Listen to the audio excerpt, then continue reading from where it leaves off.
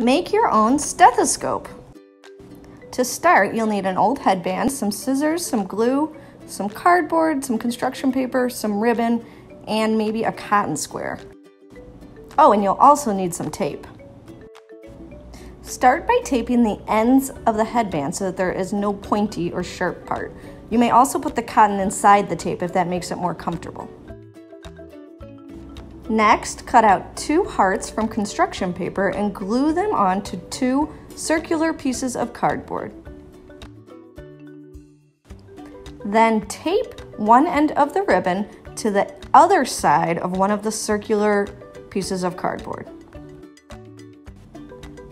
Then cover up the ribbon and the tape by placing the other circular cardboard on top and gluing them together.